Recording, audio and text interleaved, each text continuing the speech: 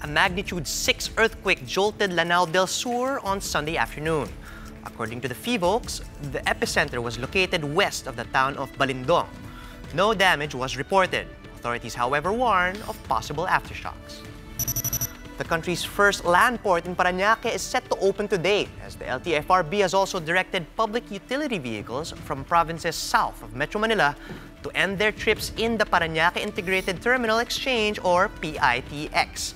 The PITX is located along Coastal Road and will serve as the transfer point between provincial buses and in-city modes of transport. The terminal can handle around 200,000 passengers daily. Security has been tight as the bar exams kicked off at the University of Santo Tomas. Over 400 officers of the Manila Police District have been assigned to patrol the campus and nearby streets for the four Sundays of November. But it's not just the police and the lawyer hopefuls flocking to UST. The relatives of the more than 8,700 candidates also trooped to the university to express their support. 2018 bar examinations will happen on all four Sundays of November.